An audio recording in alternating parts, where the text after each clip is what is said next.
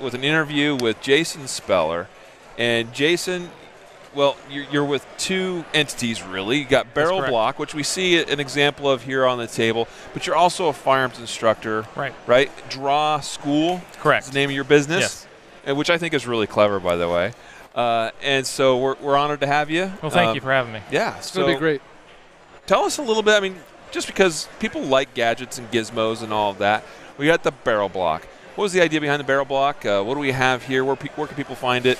Yeah, actually, this product was born out of necessity. So when we were developing the Draw School law enforcement curriculum, we needed the ability to be able to work with students in a classroom setting with their duty-issued firearm and to make sure that that firearm would actually function the same way that it would out in the street. Because if we were teaching them one way in the classroom and then we were doing something different on the range, we were inducing training scars. And we did not want that to happen uh, with our students and with our curriculum. We actually uh, conducted a worldwide search to see if there was a tool out there uh, that we could then pull in and actually use for our class, uh, but there wasn't one. And so there were a lot of uh, different types of uh, devices that you can either slide into the barrel or you can replace it with a training type barrel. But the key was is that every time that you use those products, when you rack the slide on an empty magazine, what would happen? Lock Slide back. lock. The slide locks to the rear. Yeah. Now we've induced the training scar because now we have to drop that slide to get that firearm back into battery so that they can get it back onto target. Well, it doesn't. That's not the way that it happens on the range, and that's not the way that it happens in the real world. The other thing that we didn't want to do is, is we didn't want to have to take this the, the firearm apart in order to utilize the product. So the first thing that we did was is we made this to where it actually pops out of the firearm and it goes into the firearm through the open ejection port. So we don't have to take anything apart. We just slide it right in and it goes right into the chamber and then it's locked into place. This is locked blocked. It's safe. You can't get anything to, to chamber in here and you have the safety tip sticking out of the muzzle so that you now know it's safe. So for me as an instructor, it's important for me to know that that firearm in a training classroom environment is safe. It's, Yeah. a, it's visual, easy to see down a firing line. You Absolutely. can see visually all of them, that orange tip sticking out. Absolutely. So that took care of having to take the firearm apart. We know that the firearm is safe. So the second thing that we had to develop was the uh, device that we call uh, MagBlok. Now, MagBlok is a small uh, bullet-shaped device. It goes into the top of the magazine, just like a regular round would. But what this device does is it allows the slide to function in a way that it tricks the, the firearm into thinking that it actually has ammunition in it. Right. So now what's going to happen is, is the slide is going to function without slide lock unless I manually lock it to the rear. Yep. Right. That means that I can go through all of my mag change drills. I can go through any type of malfunction drill. I can do all of my dry fire drills. And this gun is going to operate mechanically the same way that it would on the range or in the real world with live ammunition in it. Right. So what this effectively does, whether we're using rifles or handguns, it effectively duplicates the function of the firearm in a training environment where we're inducing zero training scars. So that way, no matter whether we're, we're, we're training in a classroom, on the range, whatever they experience out in the real world, in the field, on the street, is going to be what they have already trained to do, which makes the intuitive process of them working through mag changes or malfunctions and things like that that much quicker. Yeah.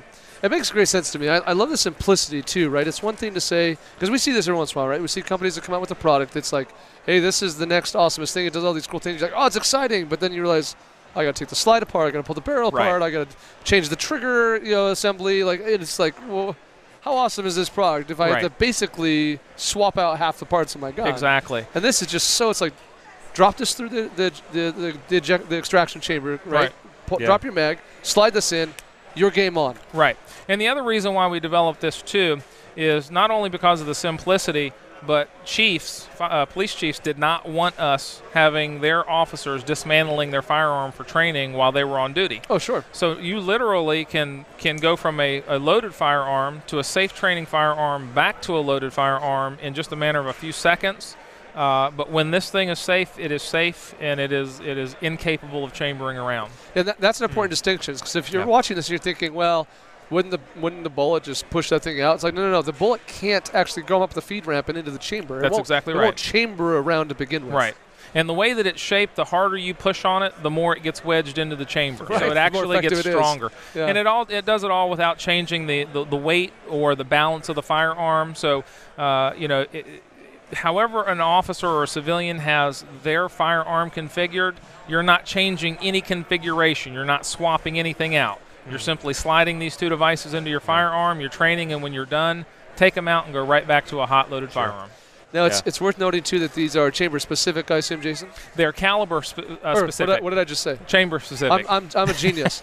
They're caliber specific. the That same- is correct. Same uh, product with a 380 as you would with a 9 millimeter. so, or is it for little instance, if, if you or if you're running a BarrelBlok nine, which goes into a nine millimeter, you can run it in a, a Glock. You can run it in a, a, a, a Glock nine, a Smith and Wesson nine, a Sig nine. It Sure. doesn't matter. It's universal by caliber, right. and each caliber is a different color, so that you can't mix and match them and screw something up. Yep. Yep. bit? Ah, Yeah. ah, I didn't realize that actually, because I've only seen the 9 millimeter one uh, Right. example. Example. So that's actually really a good idea because uh, then you're, like you said, you're not mixing something up. Accidentally throw a 9 millimeter one. Into a 45. Into a 40, which is right. going to fall right through. Right. Right. And then you run the risk of potentially being able to chamber something in, in, into or Right. into the firearm, and then you've got a mess on your Yeah, hands. yeah. Oh, good, good thinking clever. there, man. We we were talking offline. It was kind of we had a little bit of a joke. So we were talking about how the BarrelBlok solves like half of the problems. We stick the Glock E trainer on here, and we solve the remaining Exactly. trigger problems. Yeah, so we'll have to- Exactly. We'll have to play with sounds that like later. a uh, match made in heaven. Absolutely. so, so Jason, t- you, you developed this out of necessity Right. because you're obviously a trainer. That's that's what you're doing full time. So, talk a little bit about your training business and some of the core philosophies that, that guide you guys' training. Right. So the the National Law Enforcement Draw School Firearms Training Program is a law enforcement only program. Uh, we actually partner with law enforcement agencies around the country. Uh, they'll come in and they'll host us for either a five day or an eight day class. Uh, and what we'll do is, is we'll go in and then we'll draw regionally from all of those law enforcement uh, departments in that region. So, for Right. instance, in May, we're going to be in San Diego for the second year running. Uh, and we'll pull officers from all the way up as, as north as the, the Bay Area. So we've got folks coming down from the San Francisco Bay Area all the way down to San Francisco, or down to San Diego rather. Uh, they'll spend eight days with us. Uh, we'll train them. We'll teach them advanced level instructor uh, techniques using the draw curriculum, which is based on making sure that you're understanding the relationship between the body and the brain, and then you're functioning biomechanically the way that the brain is going to fire signals in a high stress situation. We actually developed this program with extensive help from U.S. Olympic doctors and athletic trainers. So we asked them, we said, you know, how does an athlete perform all of these amazing feats in high stress situations where they're out of breath, they just ran down a football field, or they've run all the way to the back of the baseball field.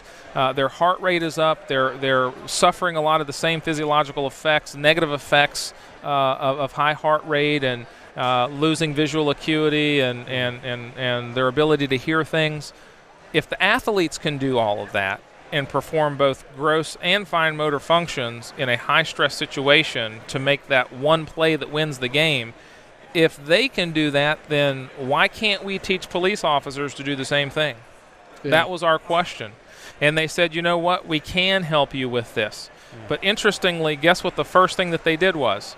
Mm. They took the gun completely out of the picture. Mm. They said, "We don't want to know what the gun does just yet. We need you. We need to know what does the body need to do in these high stress situations." So we worked from the ground up on positioning with the body, from starting with stance all the way through how we interface with the firearm, to make sure that when that trigger is pulled, even though you're not looking at the sights in most cases, that we know where that round is going to go because that's the way we've programmed the, the, the brain to aim that firearm in a training environment. Yeah, based on the physiology. Absolutely. So very quickly, uh, just like they train athletes, very quickly we were able to develop this uh, curriculum so that officers literally are able to learn something new, and within the course of just a couple of hours, it becomes instinctive. In other words, we can go from the classroom out to the range, and as soon as we um, uh, give them the, the either the verbal or the visual stimulus to to kick into action, they literally can come out of their holes to be on target with a round down range from the point of recognition in about 0.7, 0.8 seconds. So Wow. it's extremely fast. Yeah. Yeah, that's pretty so good. it, it's a, it's a tremendous program. Um, it, it's very popular right now. The law enforcement uh, community is really recognizing that what they've been doing for the last 30, 40 years has got to change, uh, and this program really has met the demand of that. Not just teaching them how to shoot, but teaching them how to shoot uh, from different points of elevation, how to shoot in incapacitated positions. Uh, when they go through this course, they have to learn every function of this firearm with both their primary and secondary hand together and then independently of each other. Uh, so they can draw, shoot everything with their secondary hand, they can clear malfunctions, and they can do it at extremely fast speeds because we're able to use a, a product like BarrelBlok in the classroom. We get it down pat, then we take them out on the uh, out onto the range, and now they're doing it live fire. Yeah. They've already shown us that they can do it safely and correctly in the classroom. It's a whole nother level of training when we get them out there on the range, and now they're able to actually perform those functions live fire. Sure. So I have a gut feeling that a lot of people who are watching right now are thinking, so I'm not a cop. Um, how do I get in on this? right? I'm sure you get that question all the time. Well, I, I, I don't see um, Tim out in the audience, and I, and I hope I don't misspeak. Uh, we've had the opportunity to, to talk with and to work with members of the USCCA training division, and, and we're hoping that we can, uh, sometime in the near future perhaps, uh, actually develop a civilian model of this program uh, so that USCCA members and others can take advantage of this level of training. Not just the training, but the level of understanding. Because when you understand what your body's going to do, you now can act physically in line with what it's going to do naturally, and that and that's what we like to teach. yeah. So don't quote him on it, but it might Not be yet. coming. It Not might yet. be coming. Wow. Wow, that's cool. Yep. Uh, you know, there's so many so many things that you said that align with my vision uh, as far as uh, what my, my beliefs. You know, where it comes to training, uh, handling a firearm, so forth. Um, do you have have you seen any sort of measurable results based on you know from your experience in going around traveling teaching uh, law enforcement officers across the country what sort of results have you seen Uh, three come to mind specifically. There was two different instances. One was a single officer. One was two officers. So we've actually had OIS saves out in the field after those officers have gone through our training. That's a very humbling and a very sobering phone call to receive uh, from uh, a member of a law enforcement agency when they say, "Hey." Our guys were involved in a shooting. Now, initially, when they say that, your heart sinks because you don't know what's coming next. yep And then when they say, hey, they're still with us because of what you taught them, that's a very, very humbling uh, a phone call to receive. Uh, so we expect to see those kinds of, of phone calls and those kinds of, of accolades continue to grow in the coming months and years. Uh, it's already happened a, a couple of times. Uh, but when you get to talk to those guys and debrief them and hear about what they went through, and for them to say, I'm standing here today because of the training that we received from you, and because of the fact that we, even though we, in, in one particular case, two, two SWAT officers were actually ambushed, and but because they were ambushed, even though they were behind the eight ball, their speed of recognition and their reaction time was so fast that before the, the individual, the subject, could actually fire upon them, they were able to engage him instead.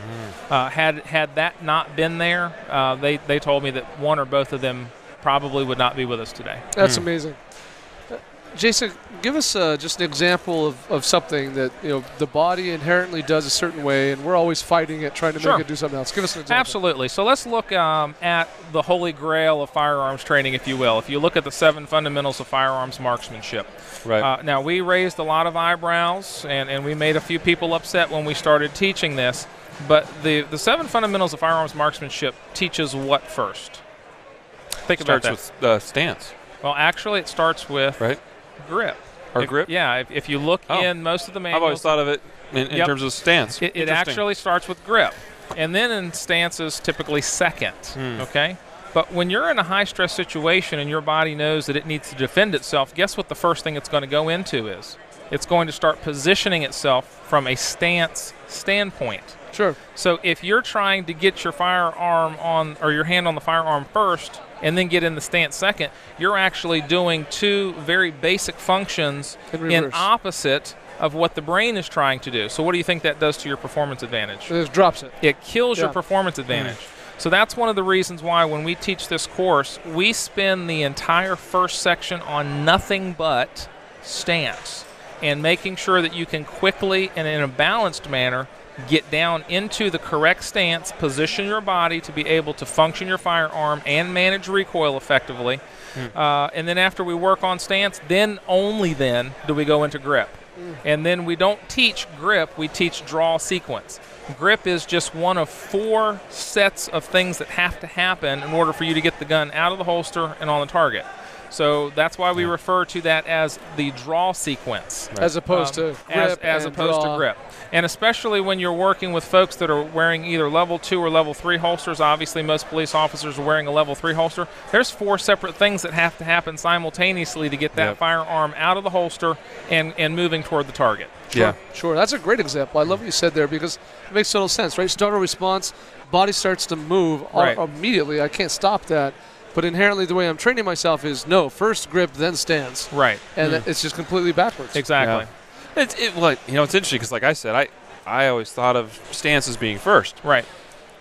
I guess I didn't. You know, it- Pat on the back for Riley. Well, no, Absolutely. Pat on the back for I'm, Riley. I'm Good not job, saying Riley. it like that. I'm Yeah. just saying like th- it's true that uh, we've probably you know many people have probably been thinking of things and doing things a little bit backwards. Uh, I, I don't know where that came from for me personally, but that's just you know. So obviously, I, I kind of took the wind out of your sails because That's okay. because that's where you're trying to go. But you know, I'm glad that that sort of thing is recognized and that uh, we've got quality training, you know, being put out there. Um, that's making a difference in the lives of officers and, and hopefully others uh, soon as well. So, um, what's next for you, man? Like, I mean, we've touched on maybe a little bit of that. Uh, and, and I mean, you've obviously had some uh, innovative, creative uh, things uh, from BarrelBlok, uh, but uh, you know, you got anything else in the works? You, you know, and Yeah. not that you have to give all away all the secrets, but Well, in, in terms of BarrelBlok, we have the ability to really be able to run any caliber we want. Uh, obviously, we're going to allow demand to, to drive that. So uh, last Christmas, we released the, the uh, 380 auto for the smaller uh, semi-automatic pistols. Uh, the 308 for the rifles is in the works, uh, so that'll be coming out a little bit further down the road. And again, that's going to be driven by demand. On the training side of things, right now, with what we're seeing happening in the world and a lot of these malicious attacks on police officers who are out there protecting our communities and just trying to do their job, our goal is to get this vital life saving training into the hands of as many officers as we possibly can as quickly as we can. So, what we're doing right now is just continuing to build out every week our instructor cadre across the country of certified uh, national law enforcement draw school uh, firearms instructors so that they can then go back to their departments, train their officers. Because it, it's one thing for me to know this training, or for you to know it, or for even the instructors at the academies to know this information. Yeah. It's a whole nother thing for that patrol off- officer out there on the street to know uh, and understand this training and have the ability to perform physically to a much, much higher level uh, while still being able to maintain a tremendous amount of focus on that target. So they can make split second life saving decisions as to whether or not they're going to. Um, uh, you know, pull that trigger, whether their gun is even going to come out of the holster. Uh, we, we all know that action beats reaction. So even before the gun comes out of the holster, very quick physical movements can change the mind of the person who might be thinking about attacking that officer because they can see that immediately they're already at a disadvantage. Sure, sure. Yeah, that makes a lot of sense. And uh, t- tell people a little bit, Jason, where they can find you, where they can learn about the products. If they, if someone, someone's watching, maybe is in law enforcement or knows someone Yeah. in law enforcement, where, Sure. where do they find all this stuff? So BarrelBlok is available online. It's also available this weekend here at the USCCA Expo. Uh, we're in booth number 249. Uh, but if they go to Blok Safety, and that's B L O K. No C, people. There's no C. B L O K Safety. So bloksafety.com. Uh, as a matter of fact, this weekend, uh, Expo floor pricing is available online. So the pistol models are ten dollars, the rifle models are fifteen, uh, and uh, that'll be uh, good through Sunday. Uh, so you can order, and we've got training videos on there. We show you how to set up your malfunctions, all of your reloading drills, all your dry fire drills. It's all on there. Super simple. We really want folks to get the most training benefit out of this product, which is why we put those videos on there. Uh, on the law enforcement side, if you go to Draw Training, and that's D R A W, Draw Training, uh, drawtraining.com, that is our law enforcement training website. Uh, you can go in there, you can read about our programs. You also can uh, click on the instructor tab, and you can see where our instructor schools are being held around the country. Awesome. awesome Yeah. for sure. So check those out. Uh, make sure you check out both those websites. Uh, I've been very impressed, pretty impressed with with the block, the BarrelBlok. I think it's a really cool product. Thank you. I'm excited to, uh, you know, kind of integrate it into all that other dry fire training. Sure. dry fire is about having lots of different tools, uh, so you can, you know, train as many of those elements as you can. Right. So I'm really excited about the product. I love the things you guys are doing with draw. Uh, I, I'm just jealous, mostly. Riley here has a badge. Yep. Uh, so yeah, maybe he can get in on the fun, but, but uh, now I have to figure out what I'm going to do. But uh, awesome, we really appreciate Jason. Thanks so much for being here and being part of the expo this yeah, year. thank you for having us. It's been an honor, and uh, we look forward to working with you guys Yeah. on, on other endeavors in the future. Absolutely, All thank right, guys. so much.